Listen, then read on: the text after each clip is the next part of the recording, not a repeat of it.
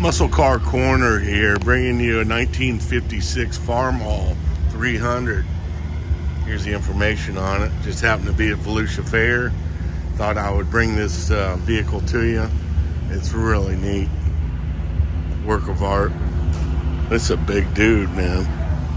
300.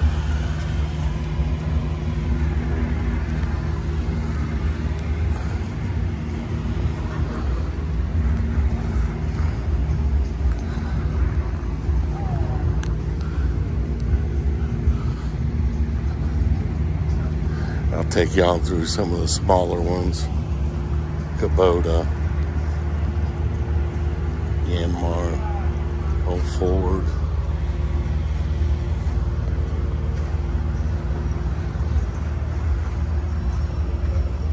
Farmalls.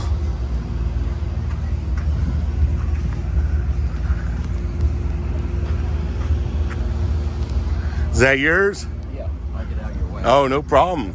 Tell me about it. I'm just checking the gas. Checking the gas and oil. 1948, huh? Yeah. How long you owned her? Oh, 10 years. Yeah, yeah. I've got another one back in the back there. It's a 42. Oh, nice. Did you restore them? Yeah, yeah. A lot of work. Oh, it is, yeah. A lot of work. Oh, you see it. I did it. Awesome. Labor of lust.